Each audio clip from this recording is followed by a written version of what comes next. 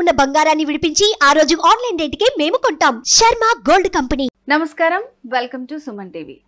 So Varahi వ్రతానికి సంబంధించి ఇప్పటికే ప్రేక్షకుల్లో చాలా మందికి చాలా విషయాలు తెలుసు. కానీ తొమ్మిది రోజులు చేసుకునేటటువంటి ఈ వారాహి అమ్మవారి వ్రతం తొమ్మిది రోజులు ఏ రోజు ఏ అమ్మవారికి మనం పూజ చేసుకోవాలి అలాగే ధూపం నైవేద్యం ప్రత్యేకతల గురించి ప్రత్యేక విశిష్టతల గురించి అంటే ఎవ్వరికీ తెలియని విషయాల గురించి ఈరోజు తెలియచడానికి మనతో పాటు ఉన్నారు ప్రముఖ జ్యోతిష్యులు బ్రహ్మశ్రీ నందిబట్ల శ్రీహరి శర్మ గారు.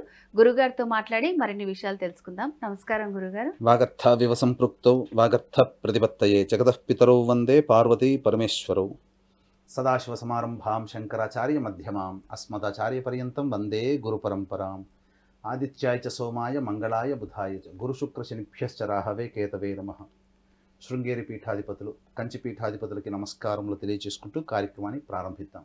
ఈ గురుగారు మూడో రోజు అమ్మవారు మనకి ఏ రూపంలో దర్శనమిస్తారు? పూజా విధానం ఏంటంటే? ఈ అమ్మవారిని మూడవ రోజులో స్వప్నవారాహి అనేటువంటి అమ్మవారి రూపంలో మనం కొలుస్తాము.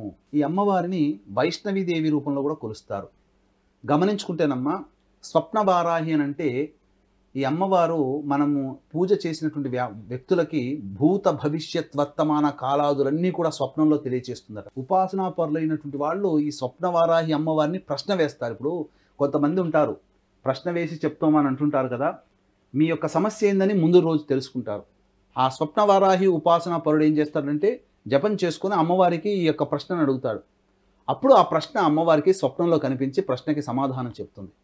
ఇలాంటి అమ్మవారు ఈ అమ్మవారు రాత్రి దేవత. అందుకే కాకుండా ఈ అమ్మవారు ఏంటనంటే విష్ణు స్వరూపము వరాహ అవతారం అయితే సాక్షాత్తు లక్ష్మీ స్వరూపము ఈ అమ్మవారు. అందుకనే విష్ణువు లక్ష్మీదేవుల యొక్క అవతార రూపాలుగా ఈ యొక్క వరాహ అవతారము వారాహి అవతారాన్ని మనం చెప్పుకోవడం జరిగింది. ఈ అమ్మవారు ఎలా ఉంటుందనంటే చీకటి మేఘాలతో కప్పబడి ఉంటుంది. చీకటి మేఘాలతో కప్పబడి ఉండి మూడు కళ్ళతో ఉంటుందట ఈ అమ్మవారు. అంతేకాకుండా వారాహి అమ్మవారిని మనం చూసినట్లయితే చాలా చిత్రపటాలలో అమ్మవారి కిరీటంలో నెలవంక ఉంటుంది. కానీ వాస్తవానికి అసలు ఏ వారాహి రూపంలో కూడా నెలవంక ఉండదు. కానీ ఈ స్వప్న వారాహి యొక్క అమ్మవారి యొక్క కిరీటంలో మాత్రమే నెలవంక ఉంటుంది. కాబట్టి నెలవంక ఉంది అని అంటే అది స్వప్న వారాహి అమ్మవారనే గుర్తుపెట్టుకోవాలి వీక్షించేటువంటి సుమన్ టీవీ ప్రేక్షకులు కూడా. ఇక ఈ అమ్మవారి వాహనం గుర్రము. అలాగే ఈ అమ్మవారు ఈ భూమిపై అమ్మవారి ఎలా ఉంటుందనంటే ఎందుకు లక్ష్మీ స్వరూపం అన్నారంటే వరాహస్వామి భూమిని తన యొక్క దంతముల మధ్య పెట్ పెట్టుకున్నాడు కదమ్మా రక్షించాడు కదా. భూమిని. అలాగే ఈ అమ్మవారు కూడా దంతముల మీద భూమిని పెట్టుకొని ఉన్నటువంటి రూపమట స్వప్నవారాహి అమ్మవారు.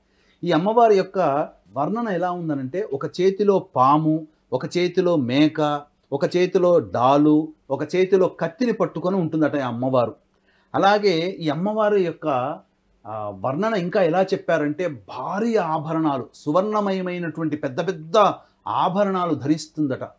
అలాగే ప్రకాశవంతమైనటువంటి చీరలు ధరిస్తుందట. అంటే బంగారు వర్ణంలో శ్వేతవర్ణంలో మిరుమిట్లు గొలుపుతుంది కదా చూడగానే ధగధగ మెరుస్తాయి అంటారు కదా ఆ ధగధగ మెరుపులు కలిగినటువంటి చీరలని ఈ యొక్క అమ్మవారు ధరిస్తుందట.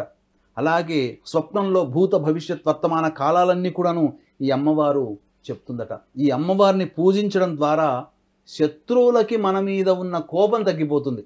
అంటే వీ- వీళ్ళని ఎలాగైనా కొట్టాలి అని చెప్పి కోపంతో ఊగిపోయి వస్తుంటారు కదా ఈ అమ్మవారి యొక్క అనుగ్రహం పొందిన వాడికి ఆ కోపమే రాదట ఆ శత్రువులకి. అంతటి మిత్రులైపోతారట ఈ యొక్క అమ్మవారిని పూజించడం ద్వారా. కాబట్టి దీన్ని దృష్టిలో పెట్టుకుని ఈ వారాహి నవరాత్రుల సందర్భంగా పదిహేనవ తారీఖు రోజున రాత్రి తొమ్మిది గంటలకి వారాహి బగళాముఖి అలాగే ప్రత్యంగిర రాజశ్యామల హోమాలు కేవలం పదిహేను వందల రూపాయల రుసుముకి మీ గోతనామాలతో చేయించడం జరుగుతుంది. సాయంత్రం ఏడు గంటల లోపల వరకు గోతనామాలు నమోదు చేసుకోవచ్చు. అవకాశం ఉన్న వాళ్ళు కార్యక్రమ తదనంతరం కాంటాక్ట్ చేసి పూర్తి వివరాలు తెలుసుకోవచ్చు. అలాగే గురుగారు వారాహి అమ్మవారి తొమ్మిది రోజుల పూజా విధానం ధూపదీప నైవేద్యాలకు సంబంధించి అమ్మవారి విశిష్టత గురించి ఎవ్వరికీ తెలియని చాలా విషయాల గురించి తెలియజేశారు. ధన్యవాదాలు. సర్వం శ్రీ ఉమమహేశ్వర పరబ్రహ్మార్పణమస్తు.